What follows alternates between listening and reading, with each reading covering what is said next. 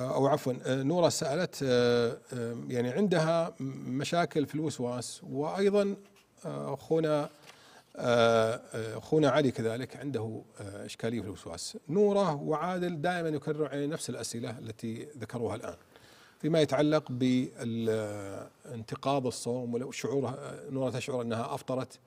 وأيضا أخونا علي يقول إنه يصلى بدون وضوء أو أنه يصلي أحيانا ويترك أحيانا.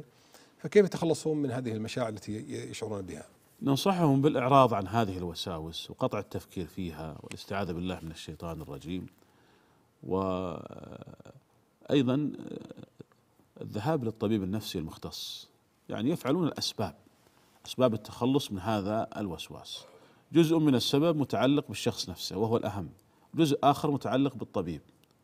فالشيء الذي متعلق بالشخص المصاب بالوسواس عليه أن يقوي جانب الإرادة والشجاعة وأن يقطع التفكير في هذا الشيء الذي يوسوس فيه ويقاوم يعني لأن لأنه ستأتيه الوساوس فيقاوم هذه الوساوس حتى يقطع التفكير.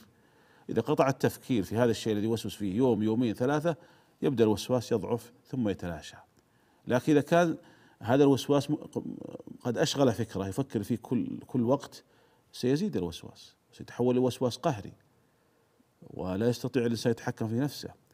فإذا جانب كبير على المبتلى بالوسواس عليه أن يجاهد نفسه في قطع التفكير في هذا الأمر.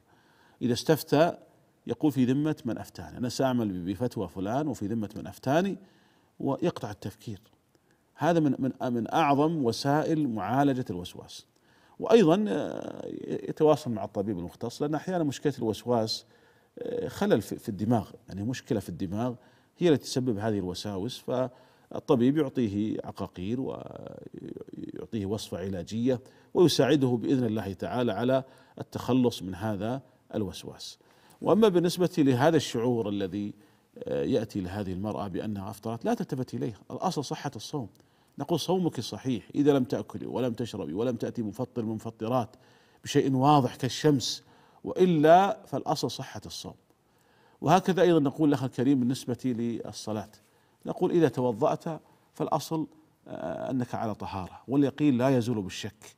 فلا تلتفت للوساوس في أنك قد أحدثت.